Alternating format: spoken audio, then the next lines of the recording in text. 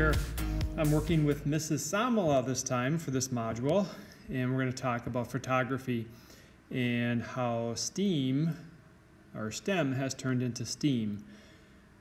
So let's just talk about that first. What is STEAM? STEAM stands for Science, Technology, Engineering, Art, and Math. So you're going to watch Mrs. Samala's video along with my video to put our projects together to make one. I'll talk about the technology side of it here in just a little bit. But notice uh, STEAM uh, creates uh, some both sides of your brain thinking creativity, communication, critical thinking, problem solving, perseverance, passion, innovation, and others.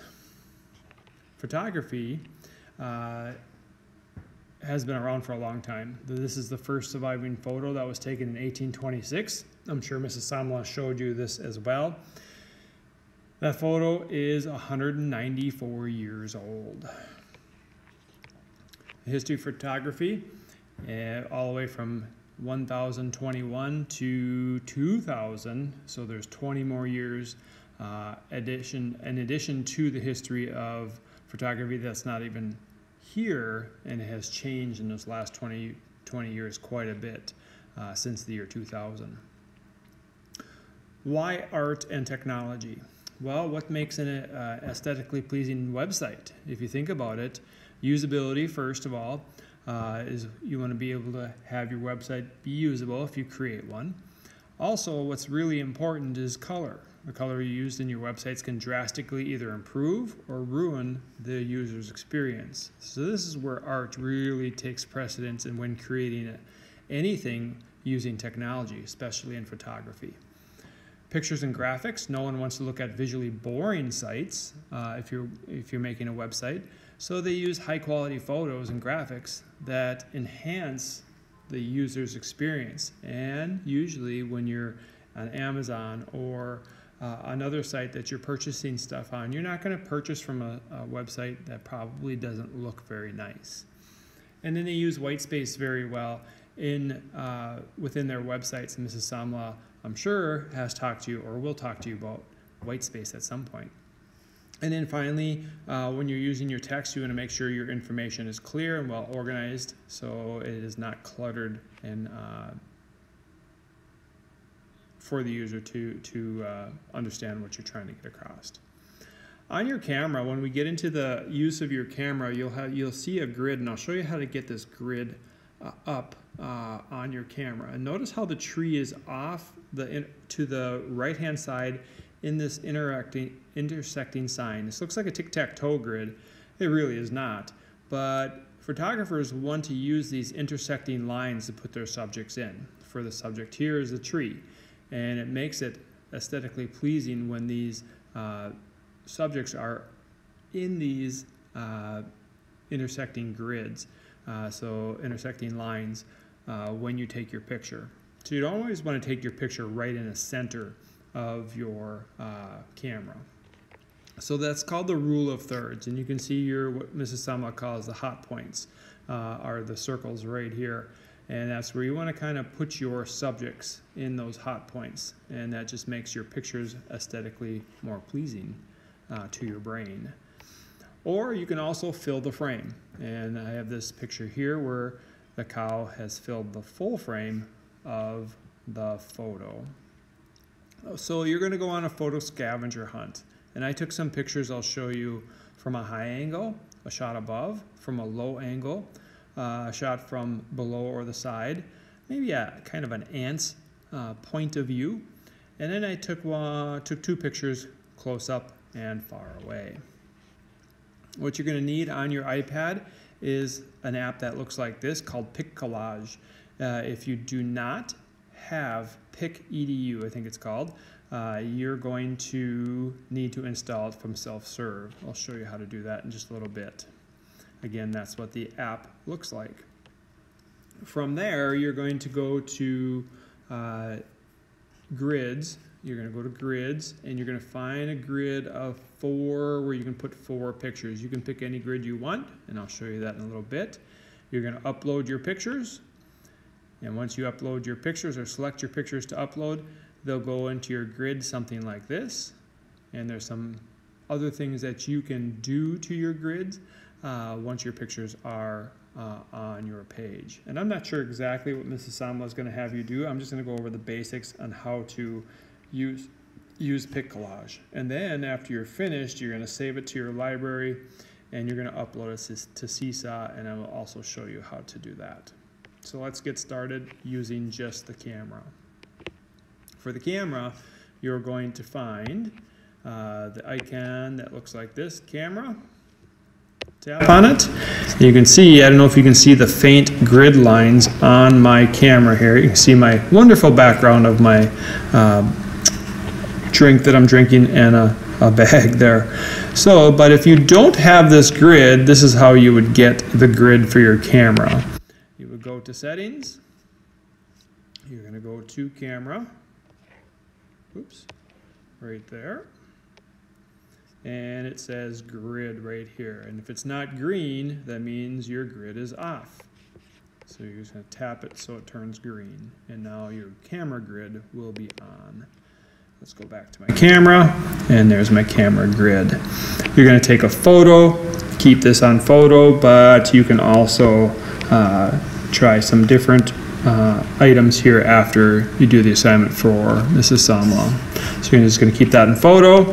You're going to tap this solid dot right here to take a picture. Looks like I just took a picture, and uh, and then that'll save to your uh, library or onto the iPad so you can upload it to PicCollage. Let's talk about PicCollage. So PicCollage, I said you might have to get into self-serve. Self-serve is right here. So you might have to go into self-serve and find PicCollage. It is in ABC order. So if you just scroll down to the letter P, you should find PicCollage right there. PicCollage. That one. And once you download it, it will look like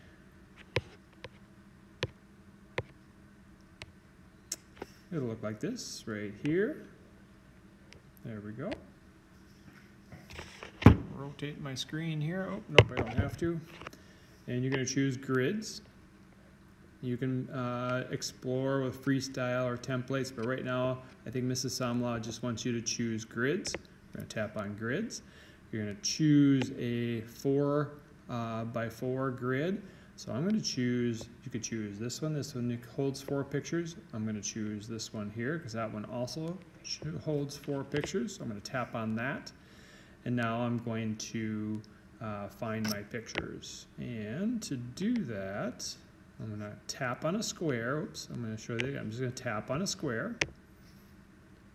And I go to photos and I had already took my pictures uh, and I do not see oh there they are uh, so I took a top a bottom I'm gonna get rid of that one a top no I took two top looks like so top and where's my side oh and a far away close up far away and side view so I'm to press the check mark for all four of those and they pop right into your PicCollage. Now in my pictures, I Mrs. Samla gave me a bowl of fruit, and I said, I'm to put a robot in my bowl of fruit. And what's interesting about this picture is I want you to see if you can find the strawberry in my bowl of fruit. And some pictures, there's a picture where you're going to see it. There might be even two pictures where you see it, but see if you can find that strawberry in my fruit bowl here with my robot dash. So you also have some options down below that you can add. And I'm not sure exactly what Mrs. Samla wants you to do, but I was just going to go over some of the tools down here. So you can add some backgrounds if you wanted to, and I'm just gonna, you can change the layout of the colors. Remember we said the white space is important, right? Your, your white space is gonna be your border of your picture. I like white, but you could change it to purple or red or blue. You can also add some designs if you wanted. So if I wanted to add some designs, I could add a design instead. Uh, so you can be a little creative in how you want your background again, but think about what Mrs. Uh, Samla talks to you about color. Okay, so I probably might want to put some yellow in there because I have a yellow banana. uh, in my picture, and I might want to add that in there just like that. Yep. Uh, so next, we want to go ahead and that was, I'm gonna go back, there we go. And I already have my photos in here, so I'm not gonna go to photos, but you have some sticker options. You could add some stickers if you wanted. Uh, you could add some text if you wanted. So if you have a, a pet, you might wanna name your pet. So if I wanna say I have Dash here, I'm gonna say Dash, my Dash robot, right? So Oops, and it looks like I lost my word there for a second. So type that in there again, dash, there we go, and we'll put the check mark, and there's dash. And I can move that word anywhere I want. Or if you want to label your fruit, or you want to say a, a, pet's name, if you're choosing to do a pet around your house, you can do whatever you want. I can also take that arrow and make it bigger. I can turn it. Uh, so you can be real creative with that. You can also uh, change the text font uh, on that and I can click on the T and I have all kinds of font text. I can change the color of the of the letters as well. So there's lots of things you can do with this, uh, the lettering on there if you want. But remember, it's about the picture uh, for this activity. It's not necessarily always about the words. Uh, and then uh, you could doodle on it if you wanted. You can actually write on this if you want. And uh, by clicking that and change the colors at the bottom as well. So I'm going to clear that. And there we go. All right, so that is PicCollage in a short uh, version. So if my picture, if I felt I was finished with my activity, and you might want to put your name on here so Mrs. Samla uh, knows it's you. I don't think you have to because we're going to upload it to Seesaw. So when I say I'm done, I'm going to press the word done. And you can explore some of these tools again uh, after you're finished. It's going to bring you to save to library. So I'm just going to save it to my library. So I just clicked save to library. You can see the check mark. And now I'm going to actually go to more. And I'm going to upload it to Seesaw right there. So tap on Seesaw. And if I want to share it to a sample student, I'm just going to share it to a sample student. I'm going to press the check mark. It's preparing the item. And you would share it to Mrs. Samla and I, because I want to see the technology part of your assignment to see if you can do this. It should now be in that sample student. Uh, so, and that was in first grade, I believe. Let's see if I can find it real quick. So I'm going to find my Seesaw app. Let's see here.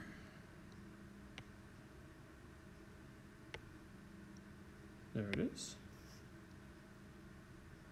And there's a, it's posted in my sample student. It popped right up. So there we go.